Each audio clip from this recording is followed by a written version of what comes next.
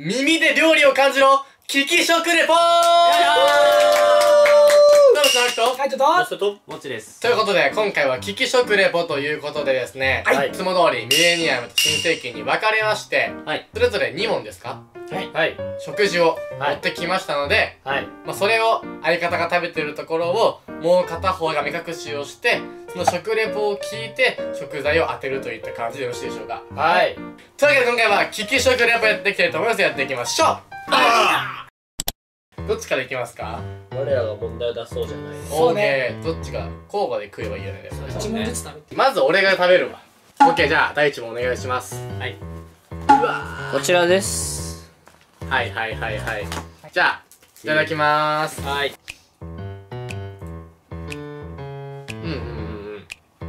冷たくなってもね美味しいという。ポテンシャルがある。ポテンシャルがある。そして程よくパラパラで。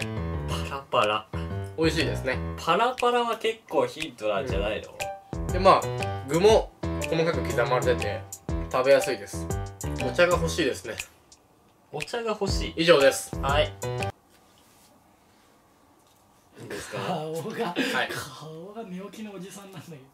まず聞き取ったこととしましてはてか俺が一番気になったのがパラパラなところとなんだろうな普通に美味しい 美味しいっていうのもあったしでパラパラがでかすぎるんだよな。パラパラに引っ張られてあいつを言っていいのかというところでもある。じゃあもういいですか？はい。僕が出した答えはチャーハンです。大正解はいい。パラパラはいいぞ。パラパラはうまい。パラパラいいでしょ。じゃあ攻守交代っていうかまあ不安だな。第2問目こちら。うわーむずいよこれは。これが1問目の方が良かったかもしれない。あまあこれ匂いしちゃう多分鼻嗅いだ方がいいかも。今あ鼻嗅いだ方がいい。鼻つまんだ方がいいかもしれない。今これ大丈夫。じゃあまあ食べるわ。いただきます。うーん。まず第一に思ったのが、うん。これを食べて米が欲しい。おお米が欲しい。あとちょっとしょっぱめ味濃いめって感じ。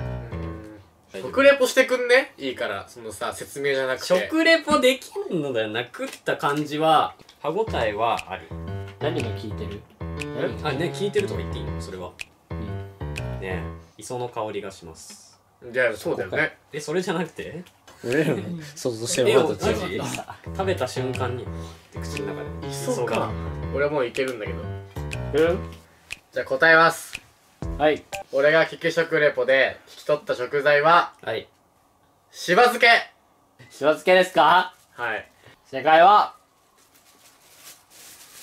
しそ昆布でー何それむずい聞いたことないよむずいこれはマジで食ったこともないし俺しそ昆布とか。何これ？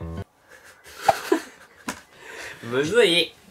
す1問目2問目で簡単難しいの持ってくるっていう。なるほどね。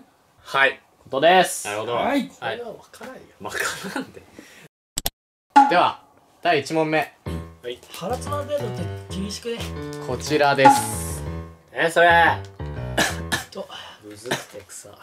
じゃあ今回ねいただきていただいていきたいと思います。いただきます。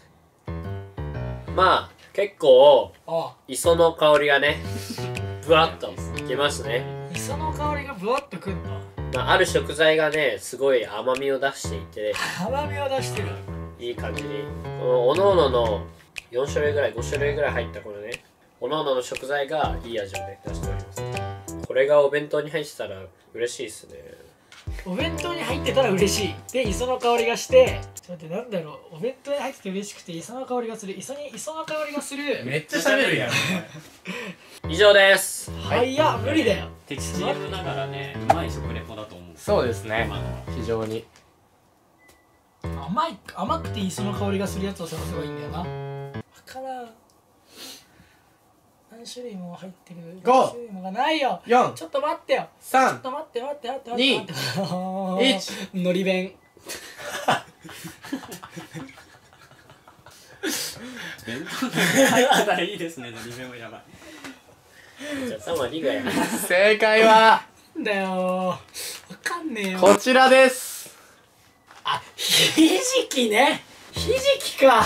いやこれはあれです。野瀬くんが甘みと甘いをちょっと言い違えたというかそこをこだわらなかったところがポイントかなって思いますね。なるほなるほどね。いやー次は結構匂いがします。ど2問目なはこれです。いやー。これはマジで匂いする。いいですか？いただきます。箸をは入れます。あーこれはとてもジューシーですね。ジューシー。そしてこのソースがとてもソース。うまい。うまいね。うんうんうんうん。美味しいですねこれはとても。おう。この厚みがいいですね。このねうん。食べ応えのある厚みですねこれはね。あのあれですね。お子さんのお弁当によく入ってるぐらいのサイズですかね。ちっちゃい子も大好きですよこれは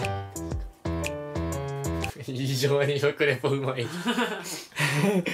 分かったかもしれんぞ。お以上です。結構匂いするんで鼻閉じたまま答えてもらって。はいいきます。はい。ハンバーグ。答えは。ハンバー